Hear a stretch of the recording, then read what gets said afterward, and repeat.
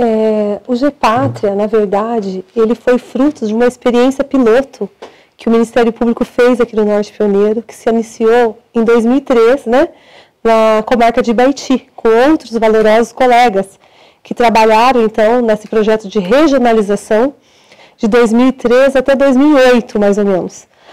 E quando nós assumimos esse trabalho, esses colegas foram promovidos para outras comarcas e eu fui convidada então pelo Dr. Olímpio na época para assumir a coordenação. Mas eu sou de Baiti e eu, em, em caso, preferi não, não ter a sede em Baiti e deles me pediram para escolher Jacarezinho ou Santo Antônio, né? E como eu já tinha eh, empresas aqui do grupo familiar, nós preferimos ficar aqui em Santo Antônio.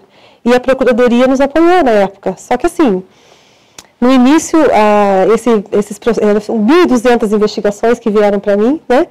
E até não pude recordar hoje no evento, mas eu me lembro bem que vieram dois caminhões. Né? Um caminhão fechado de processo, 1.200 investigações, cada processo lá com um monte de volumes, e também um caminhão de papéis avulsos que nós tivemos que coletar e, né, e, e ver aonde que nós íamos daí juntar aqueles documentos. Nós não tínhamos móveis, nós não tínhamos sede, os móveis que vieram do Ministério Público, nós compramos uma palha de aço, ilustramos os móveis, enceramos e começamos a trabalhar no Gepátria. Como eu estava sozinha, e dos 10 anos que eu estou no Gepátria, 3 anos eu tive o apoio do Dr. João Befa, depois a Procuradoria tirou ele, né? Ele também tem um trabalho maravilhoso no, no, no grupo especializado. Eu optei, junto com os gestores da época, de 2009, era no início de gestão dos prefeitos, nós trabalhávamos de uma maneira diferente, porque nós entrávamos com ação de improbidade contra gestores, comissão de licitação e tal. Aí acabava a gestão, saía todo mundo da gestão. Aí vinha todo mundo novo, quer dizer, não tinham concursos sérios. Então nós optamos para é, sanear os órgãos públicos. Nós tínhamos um município com mais de município de 20 mil habitantes com mais de 300 cargos de assessor. Era assessor motorista, assessor, professor, é tudo comissionado. E nós tínhamos um município aqui da região também que dentro da, do, do, prédio da prefeitura não tinha uma pessoa concursada. Então o prefeito vinha, vinha todo mundo com ele. O prefeito ia embora e saía. Claro que a gente sabe que tem muitos problemas na região, né, ainda, mas muito já foi feito, mas não é um trabalho único do Ministério Público. Então, assim, foi um, um projeto que foi comprado pelos gestores, pelos vereadores, né, e a comunidade hoje, o que, que eu vejo? Ela não aceita mais qualquer tipo de gestão. Se vai sair um concurso que não seja um concurso com uma universidade, a, a comunidade já procura. Gostaria que a senhora comentasse um caso talvez mais emblemático que é onde foi bastante evidenciado a sua coragem, que foi talvez um dos casos mais desafiadores da sua carreira, que foi a Operação Cheque em Branco. A Operação Cheque em Branco, ela foi assim muito comentada na região, por quê?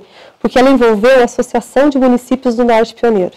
E cada um dos gestores dessa associação, presidentes, era um prefeito. Então o prefeito ficava um ano, depois vinha outro prefeito como presidente, e isso, quando nós desencadeamos essa operação que foi em 2015, nós descobrimos que a associação é uma entidade de direito privado, mas ela recebe 100% de recursos públicos. Então, o que, que ela, ela era utilizada por alguns gestores para fazer aquilo que o município não podia fazer através de licitação, através dos, dos mecanismos normais de ente público. Né? E com isso, as nossas ações que foram propostas, inúmeras, porque teve pagamento irregular de funcionários, teve compra de produtos que não tinham nada a ver com a associação, pagamentos de contas particulares de funcionários, né? É, enfim, foram vários crimes de lavagem de dinheiro e várias improbidades cometidas. Mas cada ação que foi proposta nessa operação, ela tem uma característica, porque ela, ela foi proposta sobre os fatos que aconteceram nos últimos cinco anos. Então, no mínimo, nós temos cinco ex-prefeitos né, é, réus nessas ações, fora o prefeito do município que está envolvido. Eu estou falando cinco ex-prefeitos como presidentes da entidade. Mas o município que se utilizou da entidade de maneira indevida, ele, aquele prefeito também. Então, no mínimo seis ou sete. Então, são ações assim que é, assustou muito a população também, porque nem, nem a população sabia o que acontecia ali, né? Mas, no geral, foram propostas hoje, eu tenho mais ações para corrigir lá, mais de 70 leads entre ações de improbidade e ações de lavagem de dinheiro, porque a associação era utilizada para lavar o dinheiro, né, em alguns municípios foi utilizada. Então, assim, ficou uma grande lição, porque os prefeitos falavam, nossa, doutora, nós não estamos sabendo, e muitos deles não sabiam mesmo. né, que estava acontecendo ali, e assinando, a gente até brincava, era o cheque em branco, né, para que a, os funcionários da associação tomassem providências impróprias, providências ilegais. Então, por isso o nome da operação também. Então, assim, as ações foram bem acolhidas pelo judiciário também, e eu acho que isso voltou a nossa, pelo menos na nossa região, a credibilidade na justiça, porque as coisas estão acontecendo, embora as ações estejam correndo, né?